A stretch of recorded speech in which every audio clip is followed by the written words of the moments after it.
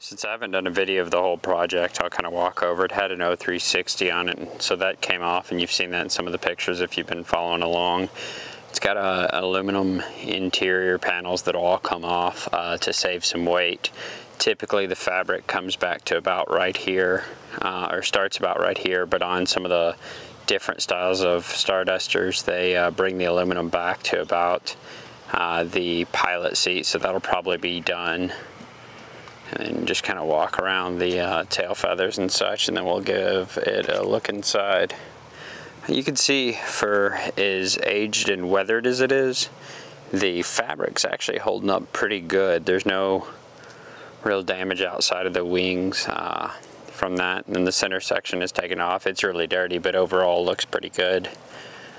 Um, cut into the horizontal here and it looks about like the, the wings did. Uh, is a sense of the metal and everything all looks good. I uh, don't have a whole lot of rust outside of some really light surface rust on there uh, that will be cleaned up and then reprimed and painted. And then coming into the interior, um, all the instruments will all be replaced, uh, new radios, modernize it, take out all the heavy interior, uh, just from a weight perspective, it's a lot of extra weight uh, for no real added benefit.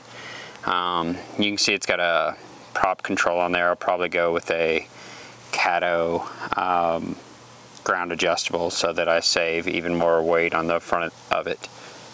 But there is some interior shots of it.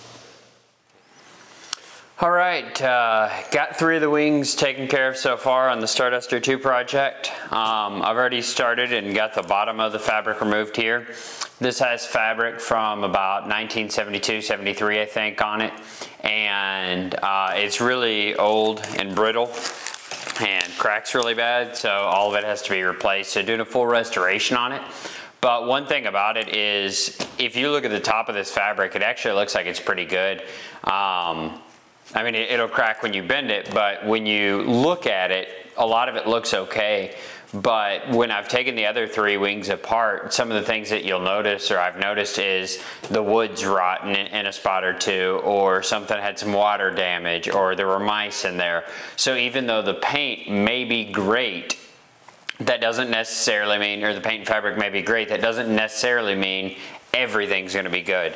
So I've already started removing uh, the fabric and I'm about halfway down the wing at this point. So uh, I'm just going to kind of continue going through.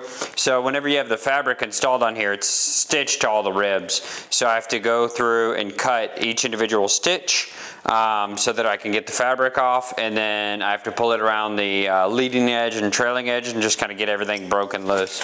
So we'll just kind of go through what that looks like. So here I'm already at the uh, the aileron bay. So I will start down here and these stitches come off pretty easy. So it's really just a matter of uh, running a, a, razor blade down it and then uh, it comes off. And then from this perspective, since the, uh, we're at the ailerons, I'll just go ahead and start a new cut around that fiberglass that'll take this piece of fabric off the rest of the way.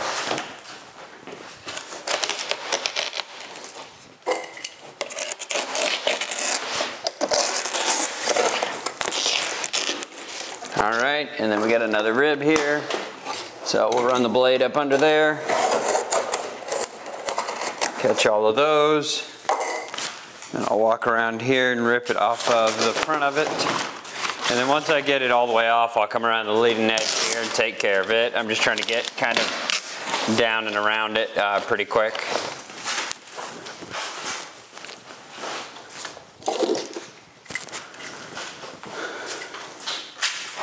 So here, there's the reinforcement tape that goes down the uh, goes down each one of the ribs, and I have to cut the reinforcement tape. It won't hardly rip past that, but the rest of it you can just kind of tear through and get to a point of uh, making it down the wing.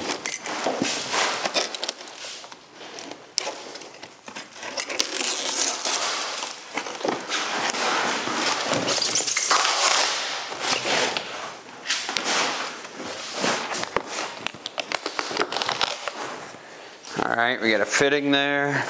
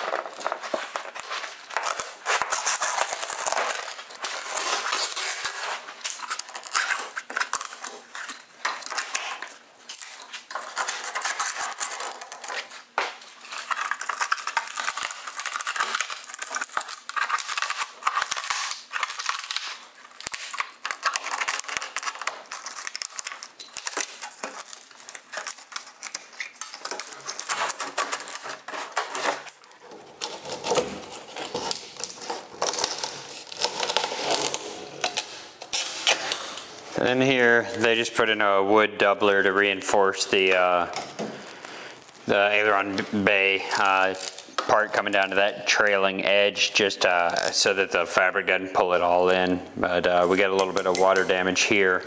Seems like with these being the bottom wings, any condensation or anything dripped down and it caught in this aluminum uh, trailing edge and then it did some water damage to each one of the points here. So each one of those are gonna have to be uh, repaired. And then getting the rest of the fabric off is just uh, getting it where it's glued on with uh, the polyfiber adhesive. It peels off pretty quick, just kind of got to be methodical.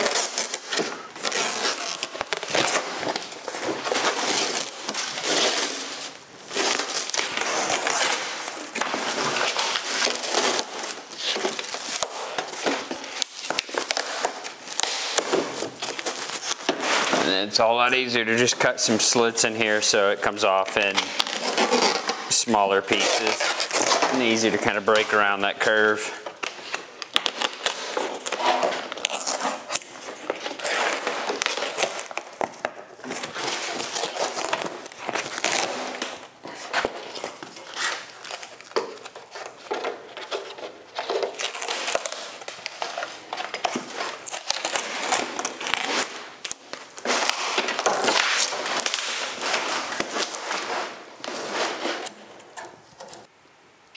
All right, so looking at it, this is the wood. Everything varnish wise still looks good on it. We can see all those metal pieces outside the dirt daubers that um, there's no real rust or anything on there to worry about. So, so far everything's looking really good. Um, here is some of the sections that I was talking about that had some light water damage. Uh, you can maybe make that out. And then as I come across the rest of them, that one looks good. Here you'll see where the wood's damaged a little bit and weathered. But overall, uh, for basically being in a barn for 40 years, it is looking pretty good. Just do some more close-ups of the metal and how it's looking. That push rod tube coming down there is, or the push rod is what uh, moves the ailerons.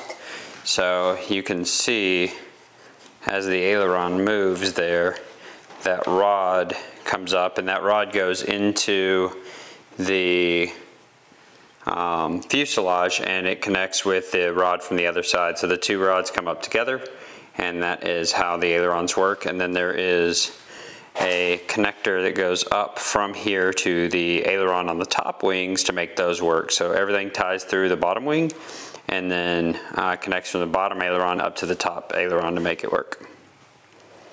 More dirt daubers there.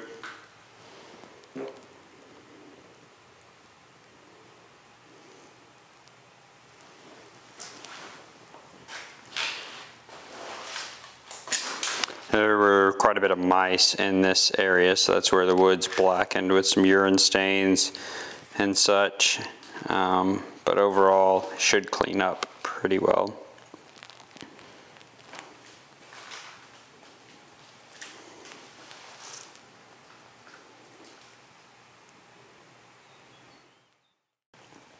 So I said I had already uh, went through the three wings and here is just a quick glimpse of how the wood and everything is looking across the three of them. Overall, it's looking pretty good. Uh, no real concerns outside of the trailing edge on all three of them.